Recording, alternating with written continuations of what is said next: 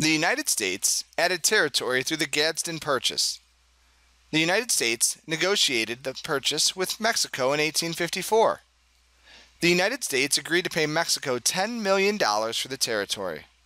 This treaty was negotiated by James Gadsden, the U.S. Minister to Mexico. The Gadsden Purchase established the current southern boundary between the U.S. and Mexico. It pushed the southern border of the U.S. south because Mexico gave up land in its north. This land makes up the southern parts of the present day states of Arizona and New Mexico. The United States wanted to add this territory to acquire land to build the Transcontinental Railroad. They were looking to have a rail line that ran from El Paso, Texas to Los Angeles, California. This strip of land that they purchased provided the best route. This would help the economic development of the United States by making trade easier.